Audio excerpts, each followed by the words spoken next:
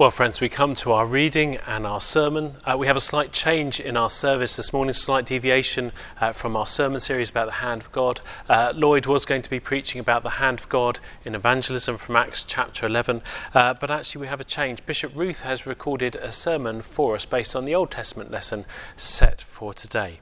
Uh, I hope that in due course she will come and preach for us here in Rudgwick when uh, we're able to meet all together and, and, sing and get everyone in the building without social distancing. Uh, but until that time, it's a great way for us all to get to meet Bishop Ruth, to hear her preach, uh, and to get to know her a little better. And so uh, we're going to have our Bible reading, which is from Exodus chapter 3 it's verses 1 to 15. If you've got a Bible to hand, do grab it. Uh, she's going to go through uh, this passage in sections, so it would be really helpful to have a Bible uh, with you as she does. And now uh, Louise and Grant are going to bring us our reading. Good morning. Today's reading is taken from Exodus chapter 3, verses 1 to 15. Now Moses was tending the flock of Jethro, his father in law, the priest of Midian and he led the flock to the far side of the wilderness and came to Horeb, the mountain of God.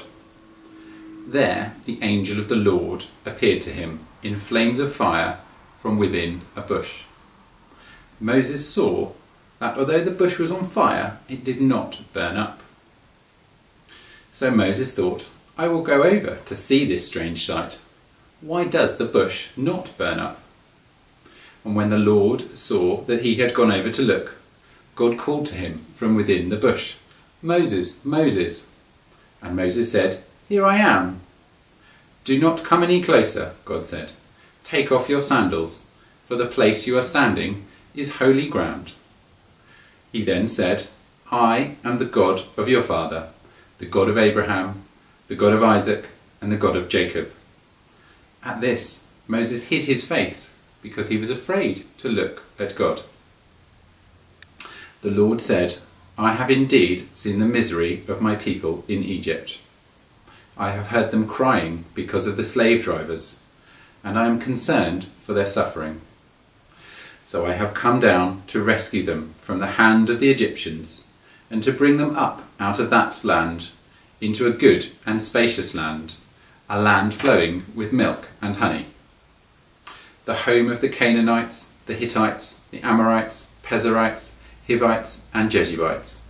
And now the cry of the Israelites have reached me, and I have seen the way the Egyptians are oppressing them. So now, go. I am sending you to Pharaoh to bring my people, the Israelites, out of Egypt. But Moses said to God, Who am I that I should go to Pharaoh and bring the Israelites out of Egypt? And God said, I will be with you and this will be the sign to you that it is I who have sent you. When you have brought the people out of Egypt, you will worship God on this mountain. And Moses said to God, Suppose I go to the Israelites and say to them, The God of your father has sent me to you. And they ask me, What is his name? Then what shall I tell them? God said to Moses, I am who I am. This is what you will say to the Israelites. I am has sent me to you. God also said to Moses, Say to the Israelites, Lord, the God of your fathers, the God of Abraham, the God of Isaac, the God of Jacob, has sent me to you. This is my name forever, the name you shall call me from generation to generation. This is the word of the Lord. Thanks be to God. Well, good morning and hello. My name is Ruth Bushyager and I am the new Bishop of Horsham. It's a great joy to join the Diocese of Chichester and it's wonderful to be joining you this morning at your church. And um, at this stage in the pandemic, I guess some of us will now be watching this sermon video alone at home. Others of you might be at home but watching with members of your own household or your social bubble. And some of us are back into our church buildings and having perhaps a mixture of pre-recorded material and real life face-to-face worship. Whoever you are And however you're watching this, and whatever you believe, you are so welcome. And I really pray that this passage from the Bible that we're going to be uh, reading this morning and looking at closely, Exodus chapter 3, verses 1 to 15, I pray that this will be a great blessing to you as the living God speaks to us through his written word. So today we read a very familiar story. It's got fire in it. It's one of the most famous chapters in the whole Bible, Moses and the burning bush. And we're going to go in sections through the passage. So if you can have a Bible open in front of you, please do, and you can read along with me. Let's set the scene for a minute. Moses was born around the end of the 14th century BC, and he was born into a Hebrew family who were living in slavery in Egypt under great oppression. And uh, the baby Moses was rescued from the Nile, the baby in the basket, rescued by the princess, the daughter of the Pharaoh.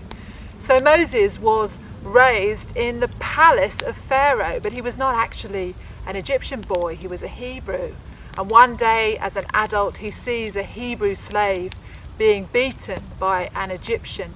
And in an act of great rage against that injustice, Moses kills the Egyptian slave driver. So then we have Moses, the murderer, running away into the desert where he finds a job as a shepherd. And he's there for 40 years. So at the end of Exodus chapter 2, we have a behind the scenes unveiling, like the curtains of heaven are drawn back. And we see that now the God of compassion is on the move.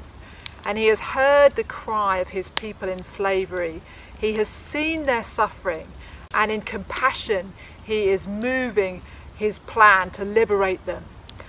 And his first thing is to call his servant Moses to be his leader in this great mission of God to liberate his people. I have come down to rescue, says the Lord. And in this extraordinary scene that follows in chapter 3, God calls Moses to lead that rescue plan. He's an 80 year old who spent his whole adult life hiding in the desert with a flock of sheep for company. Wonder if you're listening this morning and you're definitely in the second half of life, maybe even like Moses, You've been hiding somewhat from your past, perhaps retreating into your own, own wilderness years. I don't know if the months of COVID have felt a bit like wilderness years for you. It seems to have gone on for a long time. Maybe you've been laying low. Maybe you've been tending to a different job in life that you know deep down is not the calling of God. But in God's economy, wilderness is never wasted. So here we are in chapter 3 verses 1 to 3.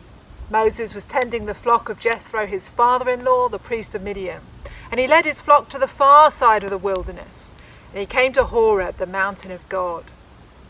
Verse 2 There the angel of the Lord appeared to Moses in flames of fire from within the bush. I don't have a bush, but we've got a campfire. Moses saw that though the bush was on fire, it did not burn up. So Moses thought, I will go over and see this strange sight, why the bush does not burn up.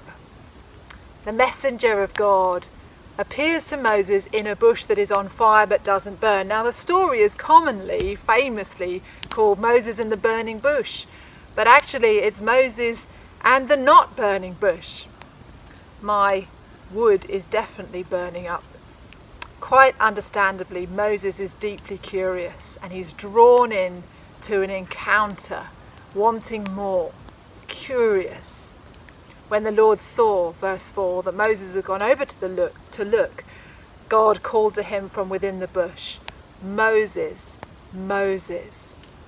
And Moses said, Here I am. God's rescue plan starts with a call. God calls Moses by name.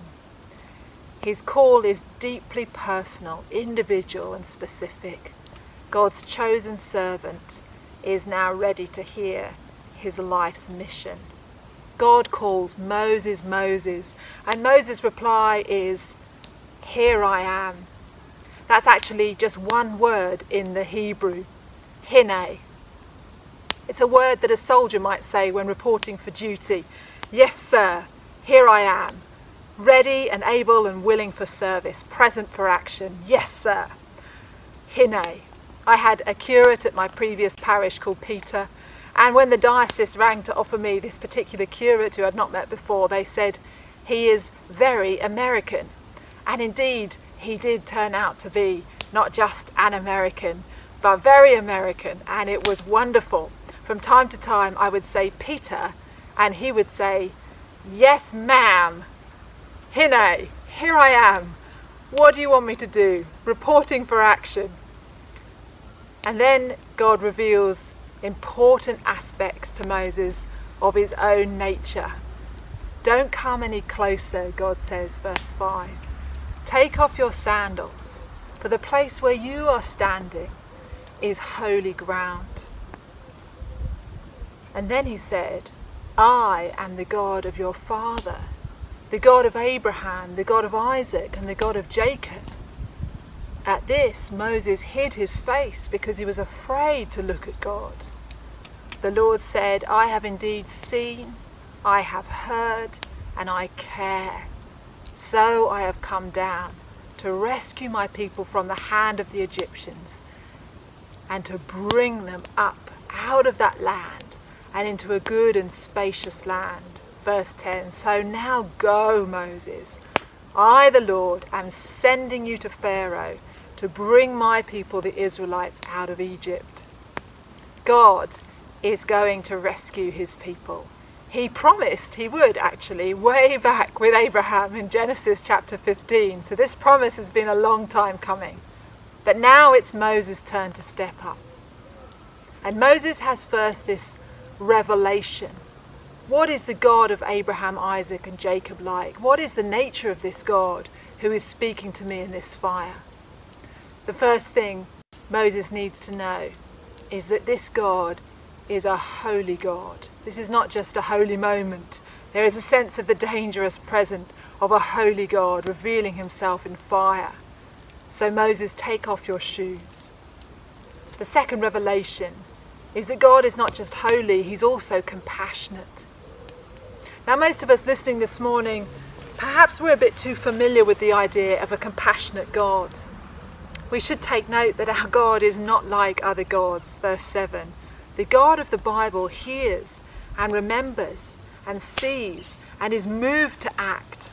Not all gods are compassionate. Not all gods care for the suffering of people. The gods of Egypt, that Moses knows very well, they do not care about the misery in human life. They cannot hear and remember and see and act. The gods of Canaan cannot help either. The modern gods, too, that we idolise and worship so much, they also have no regard for human suffering. Not materialism or careerism or fame or wealth or perfectionism or popularity. They do not care. And what we read here in Exodus 3 7, the God of Moses stands in contrast to the gods of this world, the gods of every age, in the face of suffering and injustice. The God of Moses says, I have seen, I have heard, I care, I have come down to rescue. So, verse 10 Moses, now go. Now go. I'm sending you to Pharaoh to bring my people out of Egypt. That's the mission right there. The wholesale rescue of the whole people of God. This God is holy, He's compassionate, and He's in the business of liberation, of freedom for His people. Notice Moses' call is to go. It's ascending into action. It's got to involve movement. It must involve leaving. It must also mean loss. For Moses, it's actually a return, a return to his origins, a return to the home of the most powerful man in the world, Pharaoh, a return to the royal courts where he ran freely in the corridors as a young boy, and where he fled in shame and fear as a middle aged man, a return to people who raised him, who he would now come up against in fierce confrontation.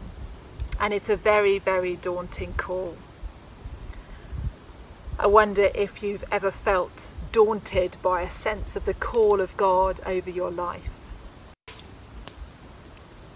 Understandably, in verse 7, Moses says to God, Who am I that I should go to Pharaoh and bring the Israelites out of Egypt? And God said, I will be with you. This will be the sign to you that it's I who've sent you. When you've brought the people out of Egypt, you will worship God on this mountain. What a daunting task. And do you see how quickly Moses has gone from, yes, sir, hine, reporting for duty, here I am, to what, sir, me, sir, from here I am to who am I? Who am I? I'm just a, a washed up exile and refugee, tending sheep in the wilderness. I'm old, I've failed. The Egyptians won't receive me, the Israelites won't listen to me. Everything I'm, I've, I've ever done disqualifies me from following God's call on my life. Notice God's reply. God says, It's not about you, Moses. I am who I am. I have seen the beginning from the end and the end from the beginning. I know all of you. And my call is about me, who I am. Who am I, we might ask. Every single Christian is called by God to partner with him in his rescue mission to the world that he loves so much. Each and every one of us, without exception, are invited to participate in this call to say yes, to be used by God for his purpose of salvation in the world. And every Christian who has ever heard this call correctly has been daunted by it and known self doubt and fear. The answer is that it is not about us, it's about the one who calls us, the one who is with us. Moses asks, Who am I? And the answer is, Well, that doesn't really matter at all. Moses asks, Who am I? And the answer is, Well, that's the wrong question. Moses asks, Who am I? And God doesn't answer that question at all. God replies, I will be with you. I will be with you. So Moses now wants to know the name, the name for God. He's familiar with all the Egyptian gods. Moses grew up learning about all of those in the Pharaoh's palace. But this God, the God in the fire who has called him to be a liberator, what is this God's name? And God said to Moses, verse 14, I am who I am. This is what you are to say to the Israelites I am has sent me to you. God's answer, the I am in the Hebrew, is Ehyeh, Asher, Ehyeh. And scholars have argued for years how to translate that. There are sort of three ways to interpret the name God gives for himself. One's from the verb I am. I am the one who is, says God. I am who I am or from the verb to be. I cause to be what I cause to be. Or from the future sense, I will be who I will be. The name for the God of the Bible is that He is existence itself. He is being. He is creator and sustainer. He is reality. He is the one who is, was, and always will be. He is past and present and future. He is the eternal one. So, Moses, that's the one who's called you and sending you on this mission. He's the one who still today calls people to know him and to join in with his purposes in the world. The great I am, the one who is, was, and always will be. Now, only he, only a God for whom that is true, is the one true God. All the other gods, the gods of Egypt and Canaan and 21st century Britain, all the other gods are created, whether they're little stone statues with shrines or systems of thought or philosophies or ideals. They're the product of a disordered human longing and our own creativity. But this God, He is the only Lord. And He's going to be demonstrating that fact in astoundingly powerful ways in the chapters to come in Exodus. So do read on with the rest of your Sunday if you can, because it's a gripping story. But I wonder if there are some listening today who are sensing the call of God.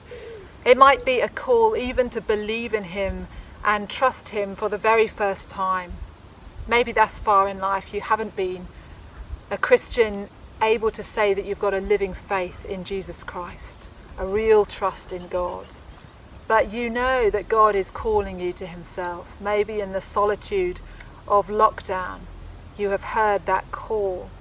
I encourage you to respond to Him in prayer. It might be daunting, it might make you feel vulnerable. It will certainly be costly, as it was for Moses, but let me assure you, surrendering to God is the very best decision you could ever make Maybe you're sensing God calling you to a new vocation or a new ministry, maybe a new role that you've been thinking about at work or at church in your community. I encourage you to pray with trusted friends and have the courage to explore that call more fully. May this passage today encourage you in your faith this morning. The God of the Bible, who reveals himself as holy, compassionate, the liberator of his people. The awesome truth is that this is the same God, who, the one who called Moses, calls each one of us by name, personally, to share in the adventure of following him. May you be courageous and obedient in following him and responding to him today. Amen.